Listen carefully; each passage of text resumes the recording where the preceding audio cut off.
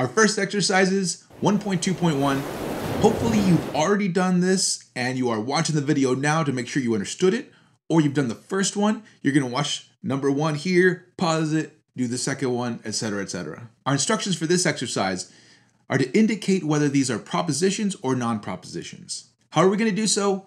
Well, remember we have the technical definition of what a proposition is. It's a claim about reality that can be true or false. So all we're going to do is look at each individual sentence and see does it fit those criteria. If it does, then it's a proposition. If it doesn't, then it's not. Number one, Los Angeles is a long way from New York. Now, is this a claim about reality? Yeah, it is. And even though it is a matter of opinion exactly how far it is, it's still something that makes sense to say true or false about. So this is a proposition. Number two, let's go to Los Angeles. Is this a claim about reality? No, this is more of an exhortation. What this is is something like nudging someone out the door. Let's go. So this is a non proposition. Number three, Los Angeles, whoopee! Is this a claim about reality? Well, no, this is one of those exclamations we talked about. Things like yes or ouch, right? It's things you just, eh, you're, you're not making a claim, you're just shouting them out. So this is a non proposition.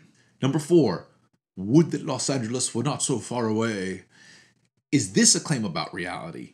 Well, no, this is more of a wish, right? It's not like you're saying Los Angeles is far away, even though it kind of assumes that it is.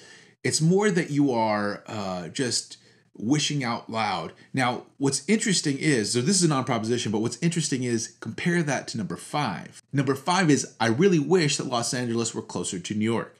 Now, is this a claim about reality? Yes. You were saying that reality is such that you feel a particular way, right? So this is a proposition. You know, this could be a true or false statement. You might actually feel that way or might actually not. But when you're just expressing that wish in the way that we did before, then you're not actually claiming one thing or another.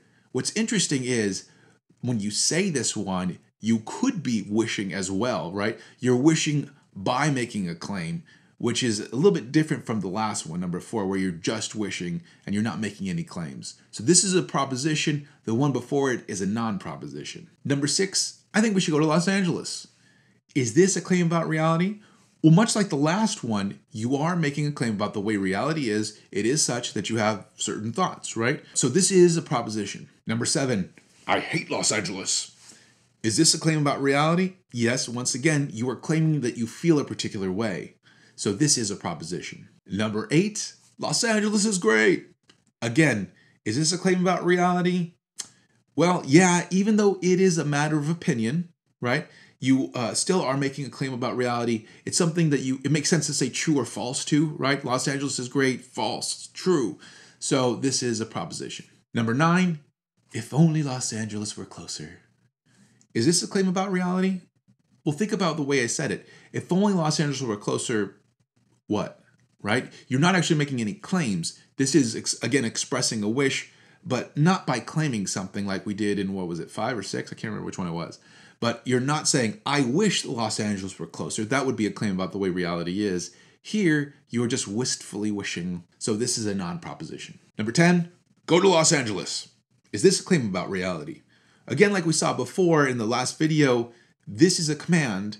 So it's not actually making a claim about reality, even though it might be assuming some things about reality, such that like you are not in Los Angeles. That that's something that it's assuming, but it's not claiming you're not in Los Angeles. So commands don't make claims about reality. It wouldn't make sense to say go to Los Angeles false. So this is not a proposition. Now we've talked about the differences between sentences and propositions. You want to know more? If you want to know about stuff like why exactly is it that propositions can't be sentences? How does a sentence express a proposition? Read the first part of 1.2.2 Sentences, Context of Propositions, just pages 6 through 8. That is going to be an optional reading for you, by the way. That's what Smith says in the book. That if you are interested in the philosophy behind the logic, check that part out. Otherwise, you can go straight on to 1.3, read that section, and go to that video.